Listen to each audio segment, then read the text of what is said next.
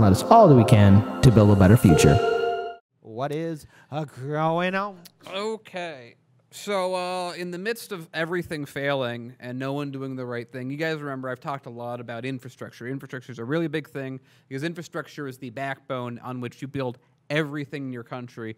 China's putting down a huge amount of infrastructure that's going to uh, help them grow for the next 50, 60 years. 50, 60 years ago, we put money into infrastructure.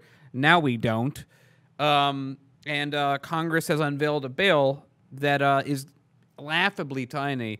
I've talked before that to just get the um, American, the grade of our infrastructure as we have it now, without even expanding it to a C, fixing the bridges that are broken, that no one seems to notice except civilians inspecting it. But um, here we are. Uh, Congress has unveiled a bill that might pass while America breaks, and it's uh, like 10% of what's needed to have a passing grade. A passing grade in school is a, what, 70%? Yeah, something. So like this that. is a seven at right now is a seven percent bill, and I know that uh, the squad says they're going to be trying to do something to make it five, tr- which is still a thirty-five percent. You know, we'll see what happens. We'll see if they're just too late to stop a bill or whatever. But uh, for now, let's talk about what we have. U.S. senators have unveiled nearly uh, one trillion dollar bipartisan infrastructure bill after much delay, which is a lot of privatizing, and Yeah. we need ten trillion. So again, wrapping up days of painstaking work on the inches thick bill and launching what is certainly a lengthy debate over President Joe Biden's big priority. By the way, this is a 2,700 page bill, which means a lot of people are getting carve outs in uh, the private sector. So, the uh, Infrastructure Investment and Jobs Act was produced Sunday night and clocked in at some 20, 2,700 pages. Senators could uh, become begun amending soon. This is pre-amendment, so someone's going to get pork somewhere else. The final product was not intended to stray from the broad outlines senators had negotiated on with weeks with the White House. Quote, we haven't done a large bipartisan uh, bill of this nature in a long time. I think that kind of summarizes everything that's wrong with the American government right now. They haven't worked on a big bill in a long time in a big country with a lot of big problems, and the bill is 10% as big as it needs to be to be adequate. A good bill would be 15 trillion, but whatever, whatever. Uh, we just increased military funding, so it's okay. Uh, Democrat of New York said uh, he said the final vote could be done in a matter of days, which means everyone's going to have an easy time reading this. A key part of Biden's agenda, the bipartisan bill, is the first phase of the president's infrastructure plan. It calls for 550 billion in new spending over five years. So it's really not a five trillion dollar bill. It's a partially a hundred billion dollar a year bill, which is one percent. Okay, uh, above uh, five above the projected federal levels, uh, which could be one of the most substantial expenditures on the nation's roads, bridges, waterworks, uh, broadband, and electrical grid in years. It's very expensive when you break down how much it takes to do a mile of anything, especially the way that we do it in America. So, well, well. Uh, anyway, we know that this has been a long and sometimes difficult process. We are proud to announce this legislation, said good friend of the show, just kidding, Kyrsten Sinema, that Democrat of Arizona and lead negotiator. So you know that if Kyrsten Sinema is the one negotiating this, it's going to be good. The bill shows we can put aside our political differences to uh, do the good work of our country. As you guys know, uh, whenever bipartisanship happens to this degree in Washington, you're going to get screwed.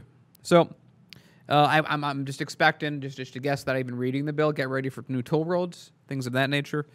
Senator Rob Portman of Ohio, Republican negotiator, said the final project will be great uh, for the American people. The you know the guy from the party who's all about privatizing everything that the government does is happy with the bill, so of course it'll work well.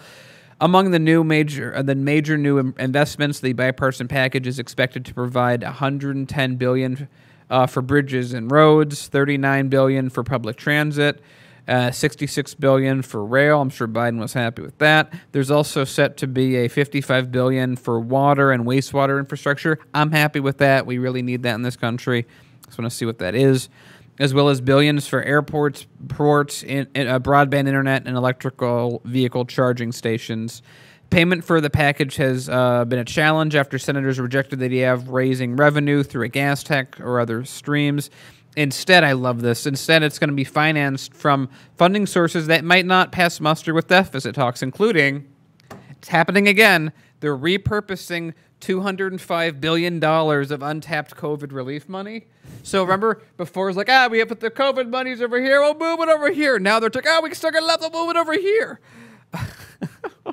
so a fifth of so a fifth of this is COVID funding that they haven't spent. Eh, as well as unemployment assistance that was turned back by some states and relying on future uh, future economic growth. At last, I'm like, okay, but it's funny that they're really saying, hey, this is the money that we were supposed to give to the Republican states who didn't want to help their people and they turned it away. So they're going to use that money. I don't know how much that is, but they're going to be using that money to put into this bill. So nothing. It, they're they're doing ten percent of the minimum.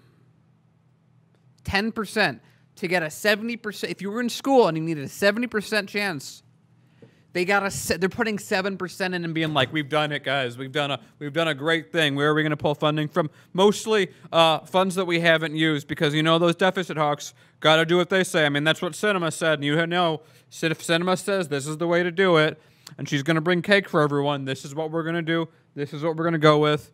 Uh, well, uh, what is this?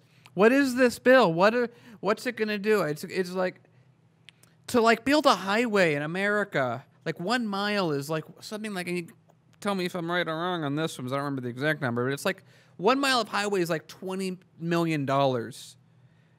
So okay, so if, if if my number is right, maybe it's two million. I don't know.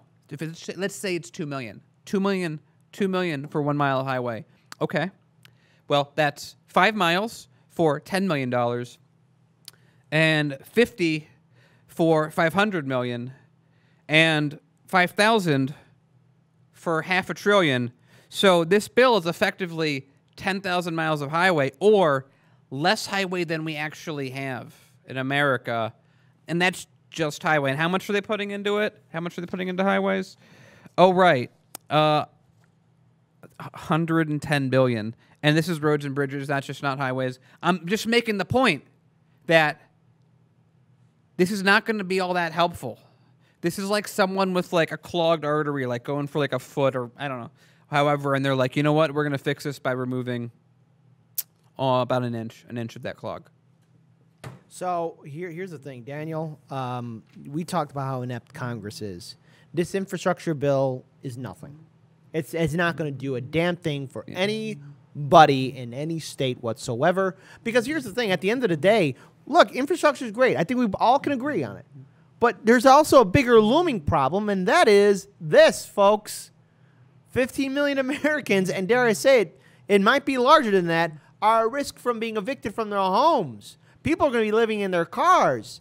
People are going to be starving in the streets. People are going to be sick in the streets. There's going to be more Bidenvilles, and that's what we need to start calling them. There's a here's the thing: the American people need a multi-trillion-dollar bailout a very high multi-trillion dollar bailout plus debt for, me, medical debt forgiveness, student debt forgiveness, and this all has to be done now because to these progressive lawmakers, if you really want to hold the Biden administration accountable, force him to use his goddamn executive order. If not, well, it, here's a couple things that are going to happen. For me, in my point of view, this has convinced me now through and through to vote third party because the Democrats have lost all my confidence, and I'm not going to vote Republican because the Democratic and Republican establishment are friends with each other. And this is what Democratic voters and Republican voters need to realize. Your lawmakers abandon you, but they're going to help out the corporations, they're going to help out the banks, the Wall Street executives. You, be a Republican voter or a Democratic voter, do not and will never have a seat at the table. Even if they do all this performative art or put all these feel good tweets, whether they're Democrat or Republican, whether you agree with those words or not, they're giving you words and statements, not deeds or actions. And they're okay with 15 million Americans or more being evicted from their homes. It's happening now as we speak, and it's madness and stupidity.